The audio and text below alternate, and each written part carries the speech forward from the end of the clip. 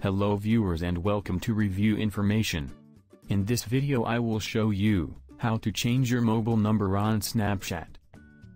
Subscribe to my channel and hit the bell icon to get notified any updates. To begin, open the Snapchat app on your phone. Tap on the face emoji or avatar from the top left corner.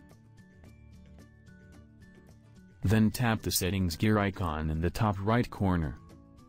Here you will see your mobile number. Tap on it. Remove your old number. And then enter your new number. If you want to let others find you using your mobile number, check the box. Then tap on Verify. If you want to receive a text message with your verification code, tap Send via SMS. Or if you want to receive the code by mobile call, tap Call Me. Select which is suitable to you.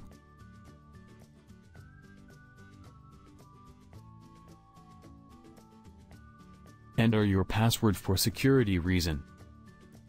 Then tap on Continue. That's it.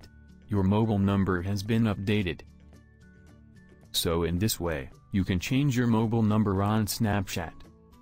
Thank you for watching. Hope you guys enjoyed my video.